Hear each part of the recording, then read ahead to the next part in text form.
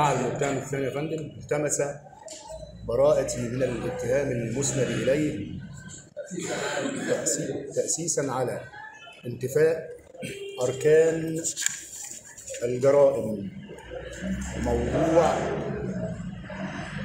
أمر الاحاله الجرائم موضوع أمر الإحالة المادي والمعنوي في حق المتهم الماثل ثانيا دفع بعدم وجود. دفع بعدم وجود.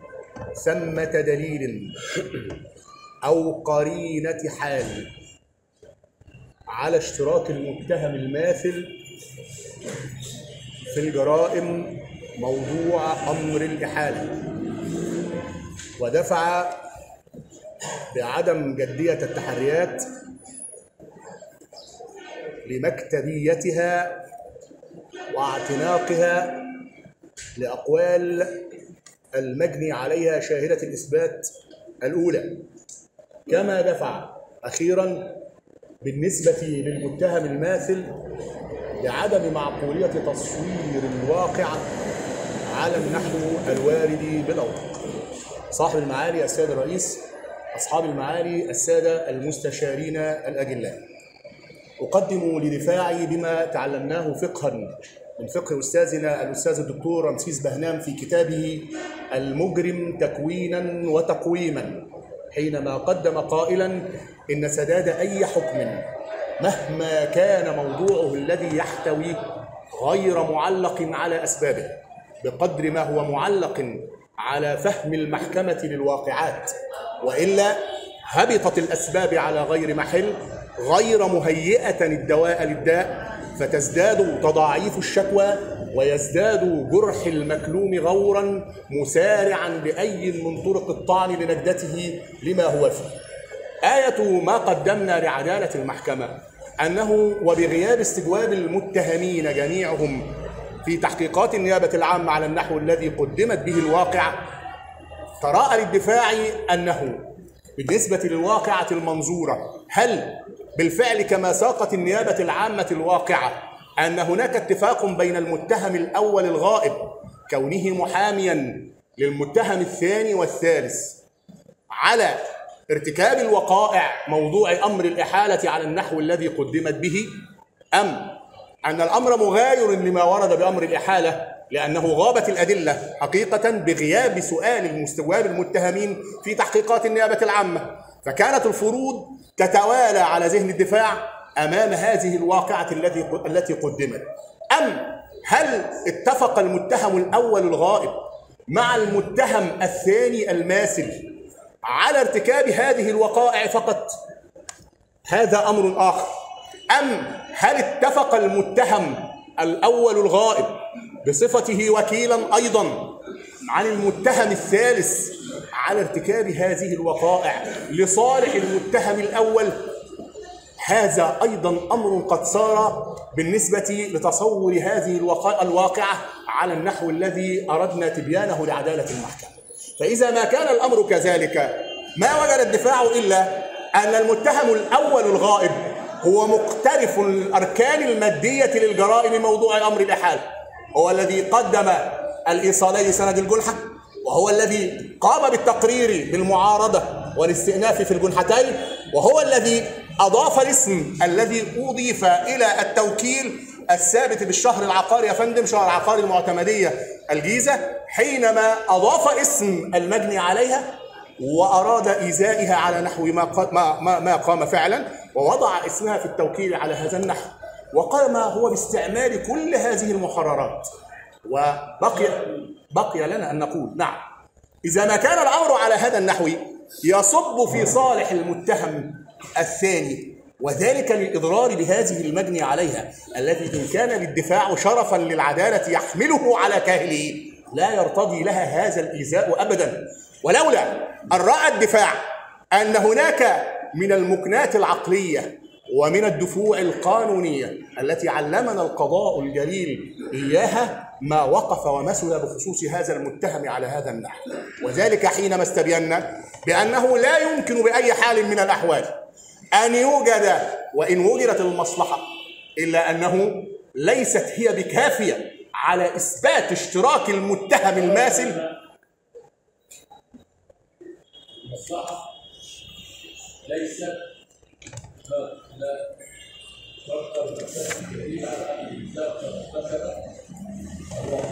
نعم يا فإذا ما كان له مصلحة على النحو الثابت بالأوراق في إضرار أو التنكيل بهذه المجني عليها فإنه وبأي حال من الأحوال لا بد وأن يثبت اشتراكه واتفاقه للمتهم الأول الذي ارتكب الأركان المادية على النحو الذي ظهر بالأوراق. أين هو دليل الاشتراك في الأوراق على النحو الذي سيقت به.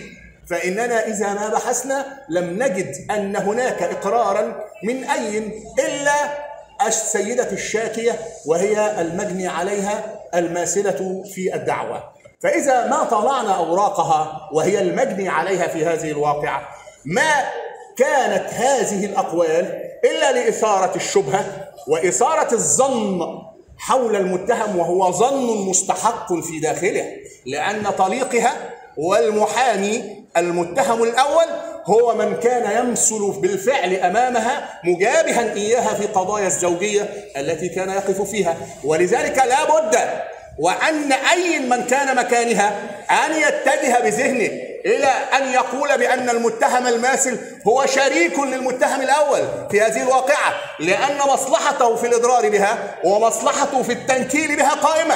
ولكن إذا ما كانت المصلحة على نحو ما قررنا أمام عدالتكم وما تعلمناه من الأحكام قائمة إلا أنه لا بد أن يثبت أن المتهم اقترف الفعل إذا ما كان فاعلا أصليا أو اشترك في الفعل المقترف بأي صورة من صور المساهمة التبعية إذا ما كان شريك فيها. هل أخبرتنا الأوراق على النحو الذي ساقته النيابة العامة إلى ساحة عدالتكم بأن المتهم الماثل هذا هناك ما يفيد بتوافر أي من صور المساهمة التبعية من تحريض أو اتفاق أو مساعدة؟ الإجابة لا لذلك إذا ما كان الأمر على هذا النحو فقد علمنا من قضائكم المبجل بأن الأمور الجنائية إذا بنيت تبنى على الحقائق الصرف لا الفروض المجردة وأن الأحكام وإن بنيت تبنى على الجزم واليقين لا على الشك والتخمين وأن قرآننا المجيد قد قال بأنه إن يتبعون إلا الظن وإن الظن لا يغني من الحق شيئا وأننا أيضا بصدد هذه الوقائع وما تعلمناه من قضائكم المبجل بأنه إذا ما كان الاشتراك في الجريمة على أي من الأنحية وأن المتهم كان شريك مع فاعل أصلي ثم قام الفاعل الأصلي باقتراف الواقعة وزاد عليها باقتراف أمر آخر لم يكن متفقا عليه مع هذا المتهم. فإنه إذا ما أرادت المحكمة مساءلة المتهم الشريك فلا بد أن يثبت لديها إذا ما كان ذلك علم هذا الشريك بما يقترفه الفاعل الأصلي وهو ما تعلمناه من قضائكم المبجل قولا واحدا ليس إلا. فإذا ما كان الأمر على هذا النحو فإننا لا بد أن نتعرض لقائمة الثبوت في الدعوة. من هم شهود الإثبات في هذه الدعوة؟ شاهدة الإثبات الأولى وهي المجني عليها والتي نجلها ونقدر حقها المعتدى عليه ولكننا لابد أن نقول هل هناك اشتراك لنا في الواقعة على نحو علمنا إياه القانون والقضاء المبجل أم أن ذلك منتفي لا يمكن أن نقيم عليه حكم للإدانة يا فندم؟ فإذا ما كان هذا الأمر على هذا النحو كانت الأقوال التي أورت بها شاهدة الإثبات الأولى هي محض الحدث والظن لأنها قالت هو المحامي الذي قام بشكايته ومن هو المحامي؟ هو محامي طليقي المتهم الأول فبالتالي لابد أن طليقي هذا هو الذي حرض المحامي أو اتفق معه على ذلك أنا أقول أنا نص المادة 722 من القانون المدني حينما تتكلم عن الوكالة يا فندم وهو أمر مرتبط بالدعوة لا محالة أنه إذا ما تجاوز الوكيل حدود الوكالة فإن الأمر يتطلب من الموكل إقرار هذا التجاوز والخروج عنه أو رفضه. فهل في الواقعة إذا ما كان الوكيل بتوكيل عن هذا المتهم وأيضا يا فندم المتهم الثاني هل هناك في الأوراق ما يفيد إلى أن هذا التجاوز كان مقبولا من المتهم الأول وأنه وافق عليه واتفق عليه على أي من الأنحية؟ إن ذلك أيضا افتقرت إليه الأوراق. وبالتالي الأحكام المحكمة حينما تقيم حكمها وقضاؤها تقيمه على أدلة يقينية ملموسة من واقع الدعوة كما علمنا القضاء الجليل إياه. وأنني باستعراض ذلك فإذا ما كان الحدث بالنسبة لها للمجني عليها الأولى هو الذي دعاها إلى أن تتهم طليقها المتهم الأول على النحو الذي فصلنا فإننا نستطرد إلى باقي شهود الإثبات في الواقع. شاهد الإثبات الثاني أمين الشرطة يقر بواقعات تقديم الايصالات من قدمها؟ المتهم الأول الغائب.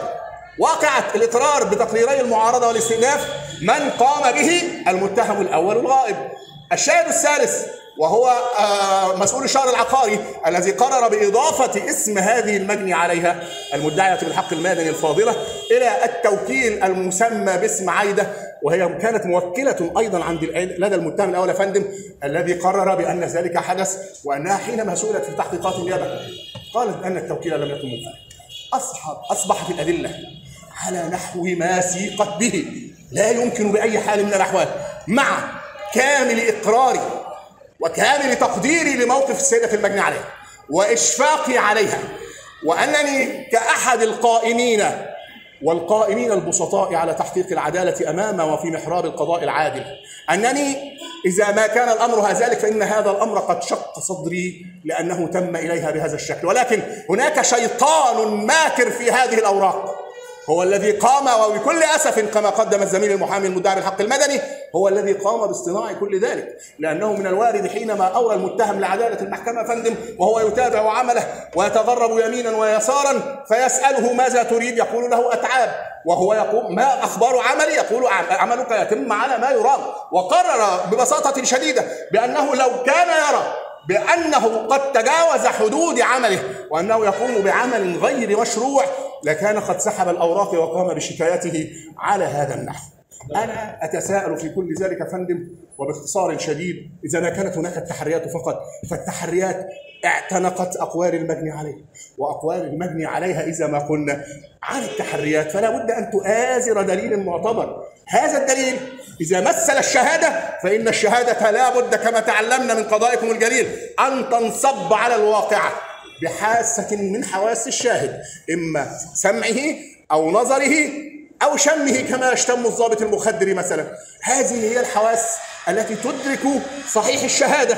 أما أن يكون هناك ظن لمجرد أن هذا طليقي هو الذي قام بعمل ذلك فإن ذلك يعفي القانون منه المتهم ولا يمكن أن يقيم عليه حكم بالإدانة على هذا النحو. وبالتالي فأصبحت التحريات ولو على فرض صحتها أن الدليل الذي يؤازرها بالأوراق وهي أقوال المجني عليها فقط بالنسبة للمتهم والمتهم الثاني يا فندم هذه التحريات وحدها وإن كانت صحيحة لا يمكن أن تنهض بحكم الإدانة. هو ما تعلمناه من قضائكم المبجل أشكر يا فندم قضاءكم الموجه لسعة الصدر وأشكر لعدالتكم حسن الاستماع يا فندم. وأنا إنسانية المحكمة قد وصلتنا ولكن قانونها هو الذي نبتغيه وقضاؤها بالقانون أيضا هو الذي نبتغيه. فإن كان ذلك فقد جمل ذلك بإنسانية علمتنا إياها المحكمة لأنه أب وله طفلين وأن الحكم طالما أنه ليس له دعائمه يسيء إليه وإلى أطفاله وعائلته. أشكر لعدالتكم حسن الاستماع في الصدر وصلنا على طلب